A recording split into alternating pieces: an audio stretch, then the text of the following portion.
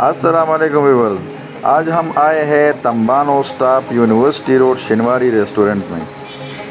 यहाँ पर कस्टमर का बड़ा रश होता है और दूर दराज इलाकों से यहाँ पर लोग आते हैं और शिनवारी रेस्टोरेंट के चावल खाते हैं। यहाँ की खुराक में चावल से ज़्यादा गोश होता है।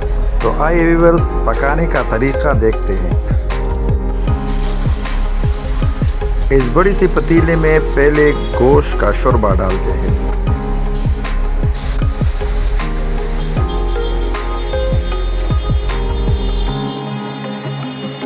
फिर इसमें नमक मिलाया जाता है और फिर गरम मसाला डाला जाता है।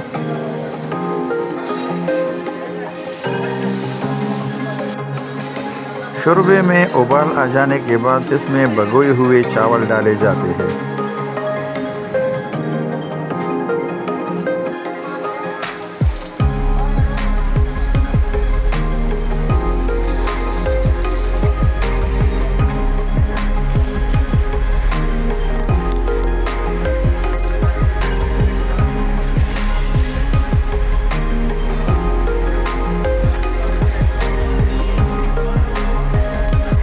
थोड़े से वक्फे के लिए इसमें चम्मच हिलाया जाता है।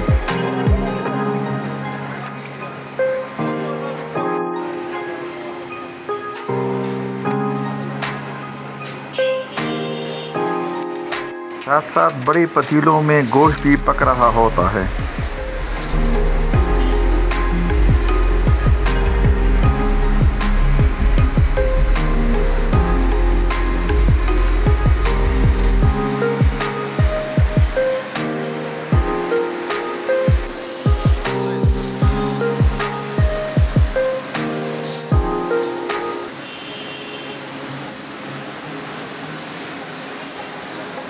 गोश्त पकने के बाद इसको एक बड़े से बर्तन में डाला जाता है।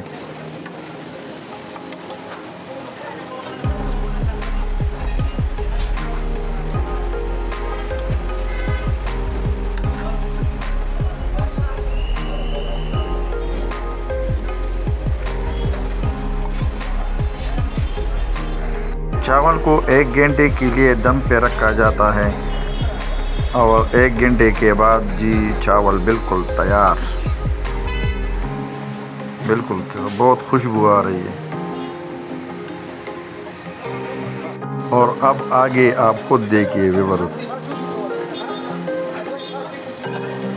क्या खुराक है भाई। देखिए आ हा हा हा ज़बरदस्त जी।